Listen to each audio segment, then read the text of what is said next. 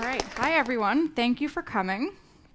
So, I've been here in the Bay Area for about three and a half years. Um, originally from the East Coast. And when I first moved here, I took a quick weekend trip back to DC to see some of my friends. And I was on my way to the airport for my flight back here to San Francisco. And my Uber driver and I started randomly talking about pool. He was talking about how much he likes to play pool and how often he plays it in the DC area. And I started telling him about how I played a lot of pool in college because we had a pool table in my dorm freshman and sophomore year, and I didn't get much work done, to say the least. So we continued talking about it a bit, and he eventually told me about the APA, which is the American Pool Players Association. And the APA is a national league here uh, in the United States. And it has different leagues and divisions throughout the US in different cities, and San Francisco happens to have one and teams will play out of different bars and various pool halls in the cities that they're hosted in. He also told me that teams were always looking for new members, and every team had members of different skill levels. The league also has a handicap system set up, so it's less intimidating for lower skill level players to go up against higher skill level players. Basically, the league is set up to make it really easy for new members to join, no matter what level of experience they have playing pool.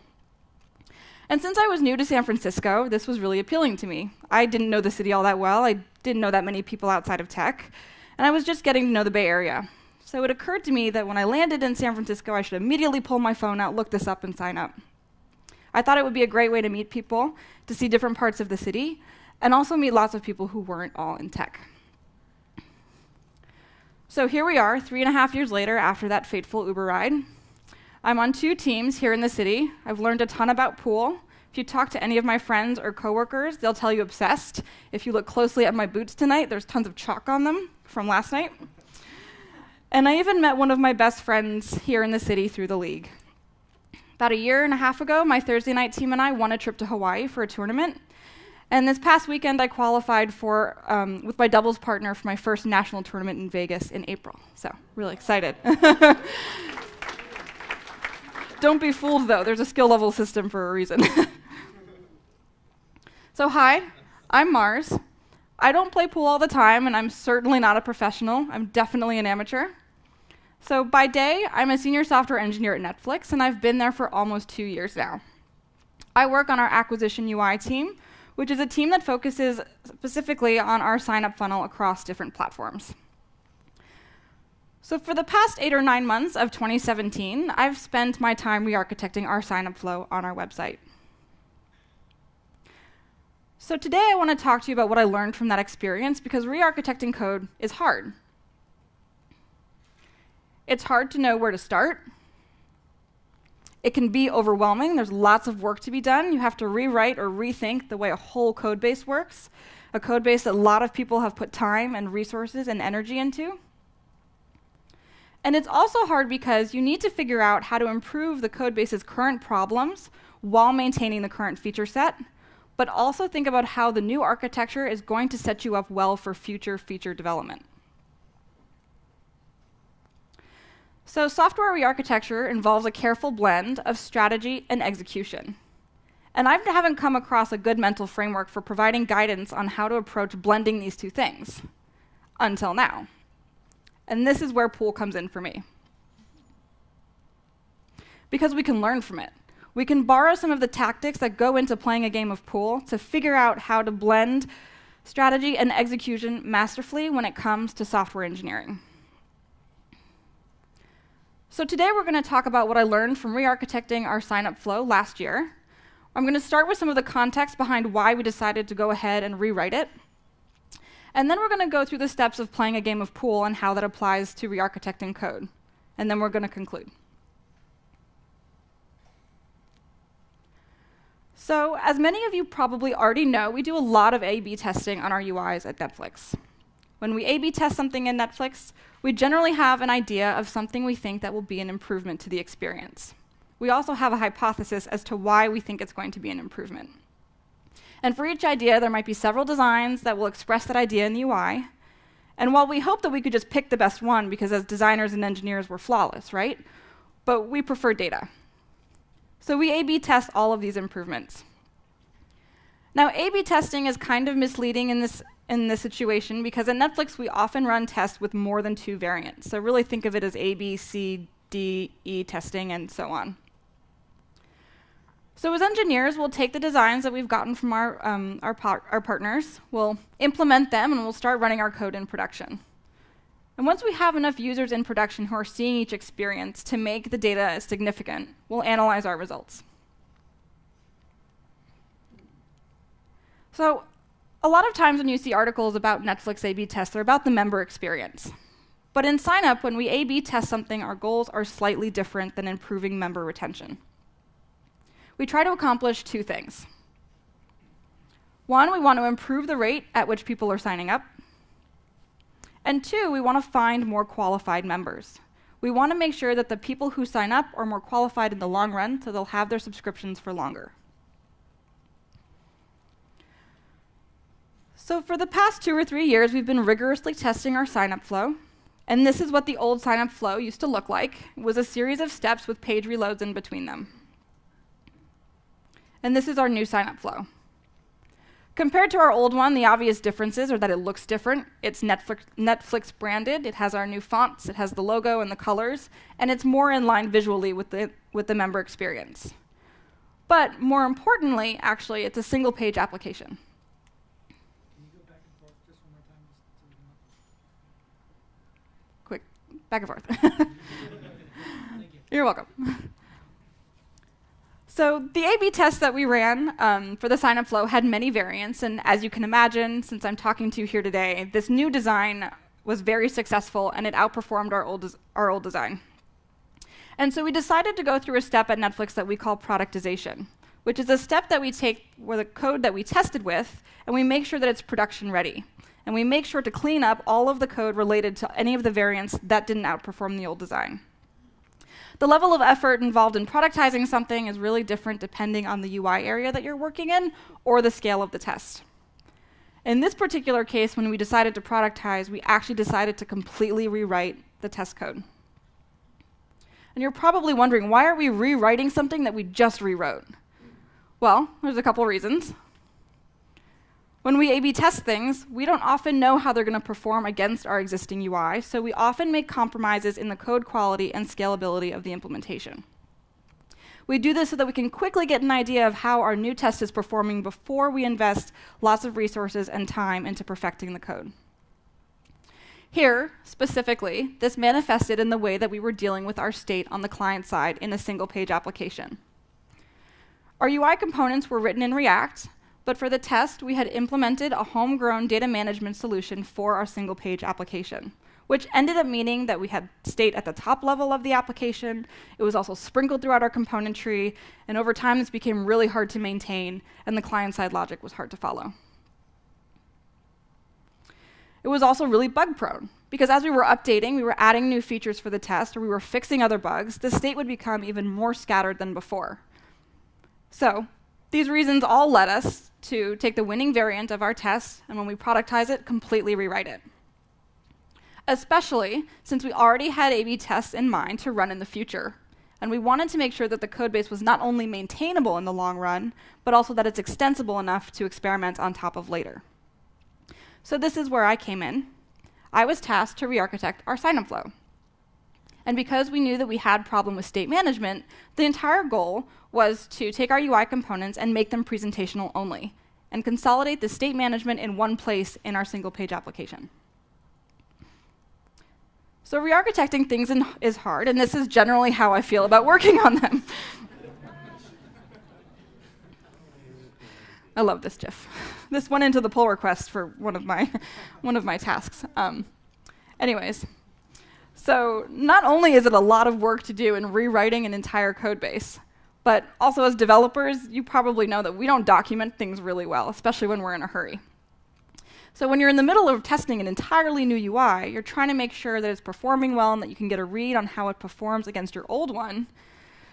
There's not much time for writing things down. So how do you navigate a code base and try to figure out what the actual features that are relevant are? And to make things even more complicated, not only do we need to make sure that we move the current feature set over, But in order to set ourselves up at Netflix for success in the future, we need to rewrite it in a way that makes it easy for people to add new features to and also experiment on top of. This is difficult when you have no idea what those A B tests are going to look like or what those features are going to be. So, how do we think about re architecting code? So that you make your code bases maintainable and stable and forward thinking enough that they can be extensible. And here's where I want to bring pool in and introduce this wonderful sport to all of you. In my time coding and playing pool, I've realized that software engineering and billiards aren't all that different. They involve similar types of problem solving, in that there's a clear end goal, and in each step along the way, you need to be able to deal with the immediate problems on hand, and you need to strategize about the next step. But you also need to be able to execute your current step so that you're well set up enough for the next one. Playing pool well can be summarized as masterfully combining strategy and execution, and I want to show you how this applies to re-architecting code as well. So let's talk about the steps involved in playing a game. So it can be broken down into five steps, or, well, really four, if you read the last one. The first is to choose your lineup. You want to walk around the table, find your way out, take your shot, and repeat. And I'm going to go through each step one at a time. And I'm going to go through each step and what it means in the context of playing pool. And then I'm going to follow that up quickly with how it can be applied to software engineering and specifically the task of rewriting code.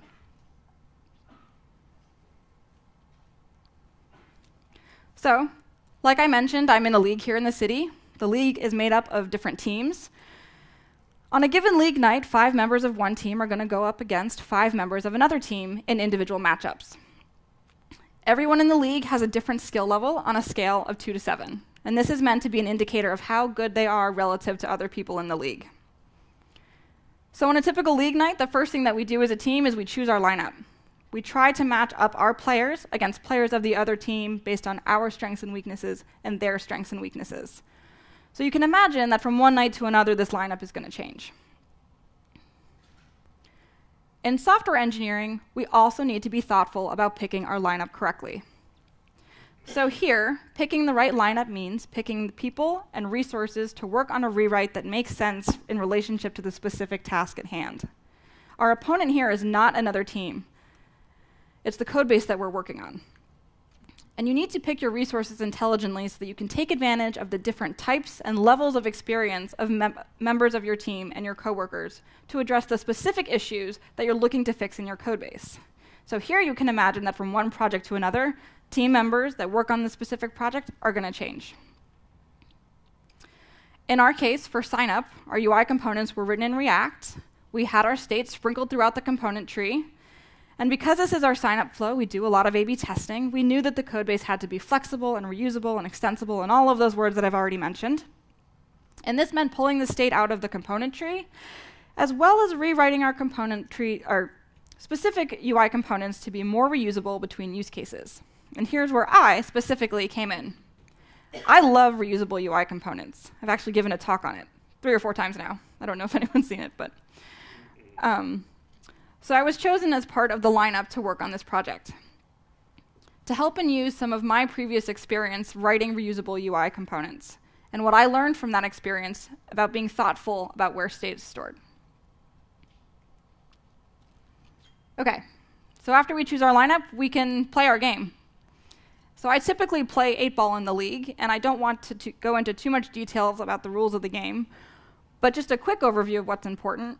In a game of 8 ball, I'll be playing against an opponent. And the goal of the game is to get the 8 ball in at the end after getting all of my balls in, so they'll be either stripes or solids. And generally, my opponent and I will take turns at the table. After someone misses or fouls, the table will turn over to the other player. When it's my turn, the first thing that I'm going to do is physically walk around the table. And I do this for two reasons. One is that I want to get a sense of all of the possible shots that I can take given the state of the table. And it's important to walk around to get an idea of what the table looks like from new angles. If I walk around, maybe I can see balls that I didn't think I could hit before. Maybe I can see pockets that a certain ball could go in that I wasn't able to see before.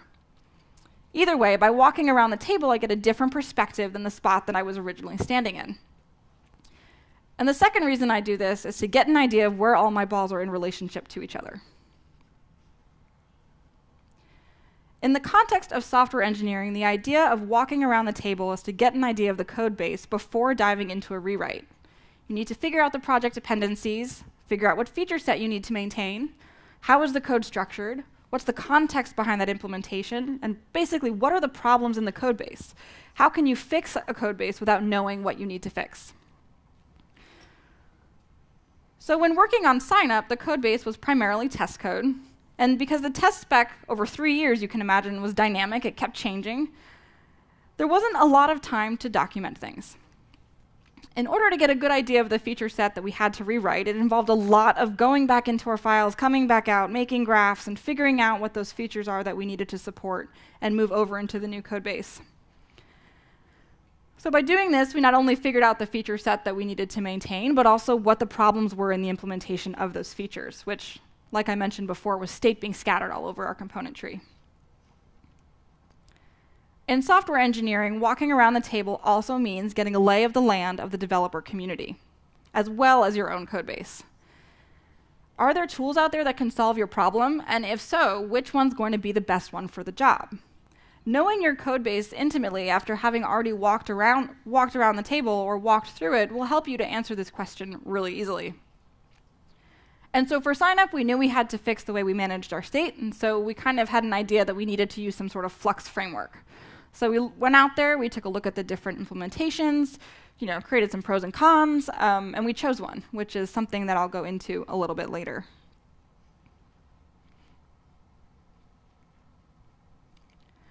So after I've walked around the table and I've seen all of the possible shots that I can take and where all the balls are in relationship to each other, the next thing that I need to do is actually to choose the shot that I'm going to take. This isn't as straightforward as it sounds. This is actually a really strategic step.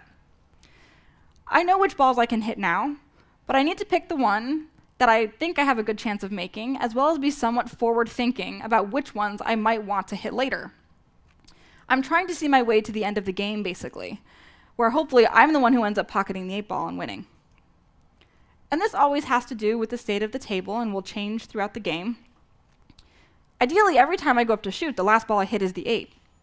So normally, when I look at the table, the way I work my way backwards is from that ball. So I want to come up in my mind with a series of balls that sets me up with the long term goal of winning the game. So I need to figure out which shots are going to set me up well to complete an entire run. It's important to note that actually the first ball here you should take, or any shot, sometimes isn't the easiest ball on the table to actually get into a pocket.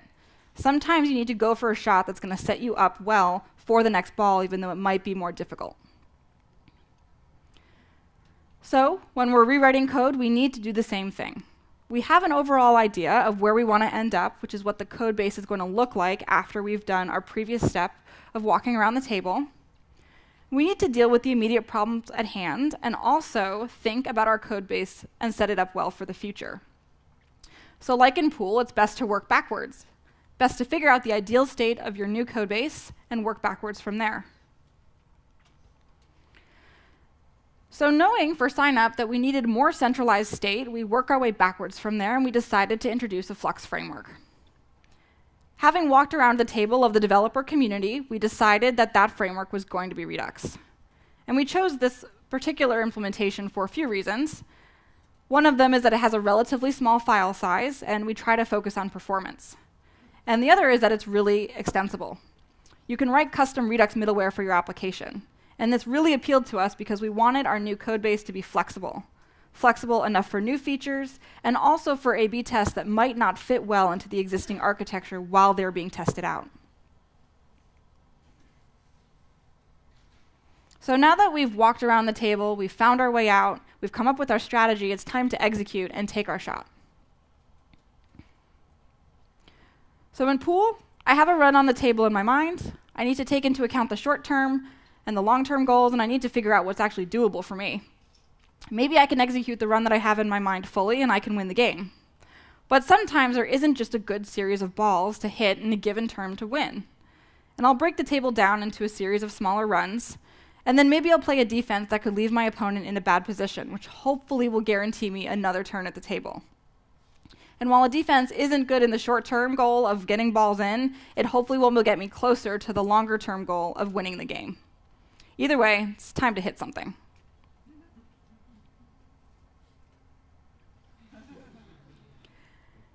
In software engineering, we also have our strategy, and like in a game of pool, I wonder can I win from here? Can the refactor be done in one fell swoop? Or do we need to break the table up into a series of runs and break our work up into smaller, more digestible steps? so it's time to code, which is the equivalent of taking our shot. When rewriting the code base, for signup at least, we wanted to figure out if we should do the state refactor in one fell swoop or break it up into smaller efforts. And as you can imagine, we decided to break it up into smaller efforts. And so we decided to rewrite the sign-up flow one page at a time. We did this for a couple reasons. First, it makes it easier for other developers to reason about the rewrite that we're working on and to actually review the new code. And secondly, it made it easier for our QA engineers to validate the sign-up flow as we went. So for every page that we rewrote, our QA engineers could focus on just that one page and make sure that we didn't have any regressions for the multitude of user states that could hit that page. And in both of these cases, by breaking it up into smaller steps, we were able to get technical as well as functional feedback on our implementation quickly. So in pool, I've taken my shot, and more often than not, I end up missing. And when I say missing here, I don't just mean that a ball didn't go in, but I also mean that my strategy didn't go to plan. And in pool, there can be multiple factors as to why this happens. Different bars will have different constraints, so the walls might be really close to the table. The table could be a little bit faster than you used to, you're used to. The cue ball that you're using could be heavier, which means it will behave differently. Either way, no matter what the reason was, it's important here to analyze why you missed, because it can for- inform how you find your way out or you execute when you next get up to the table. So you have to adjust mentally. And hopefully, I get another turn, and it's going to be time to go through all the steps again. It's important to go through all the steps every time because the state of the table will most likely have changed. Not only because of what my opponent has been doing, but also because of what I have been doing and how I've been affecting the balls as I've been going along. And like in pool, we have to adjust when we miss in software engineering as well. What does it mean in software engineering to miss when you're doing a rewrite, though? More often than not, it's bugs, which can not only mean that something needs to be fixed quickly, but also can expose more fundamental problems with the new architecture. And we have to learn from these mistakes and iterate. So when we rewrote the sign-up flow, when we broke it into smaller steps, it allowed us to figure out and if and how we missed early on in the project as we went along. And so we could quickly learn from our mistakes, we could adjust and repeat. So we worked incrementally to allow for faster and more productive iteration, and the early feedback was invaluable in order to make sure that we didn't spend too much time and effort going down the wrong path. And while it may have taken a little longer, it was important to get the new code base right because that's kind of the whole point behind the rearchitecture. And so that was worth the time investment. So Software rearchitectures are still pretty hard. It's hard to know where to start, and there's a lot of work to do, and we need to balance fixing the current problems with future work. But rearchitecting code is a lot like playing pool, or at least that's the way I see it, and I hope you see that now too. We need to find a way to be successful in the short term as well as set ourselves up for the long term success. We need to be able to address the problems that are in front of us now but also be able to address them in a way that anticipates the work we're going to need to do in the future. We need to find the right blend of strategy and execution for software rearchitecture projects. And we need to do that using Pool. Or, well, we'd like to. Pool provides a good mental framework for how to blend strategy and execution, as well as concrete tactics as to how to get through a project of this nature. So, for software engineering and code rewrites, like in Pool, we need to choose our lineup, walk around the table, find our way out, take our shot, and repeat. And up next, we have Tony talking about how we re architected our non member homepage to be more performant. Thank you.